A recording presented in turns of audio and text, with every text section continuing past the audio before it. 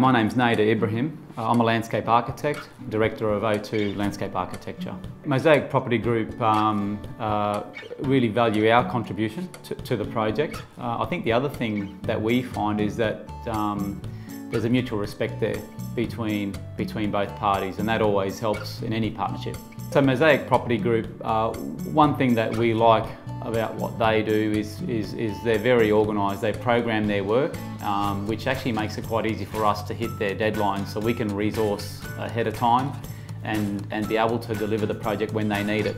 Um, that is different to some other developers that we work with, um, where that organisation isn't quite up to that standard. So, that, so that's a really good aspect of what they do.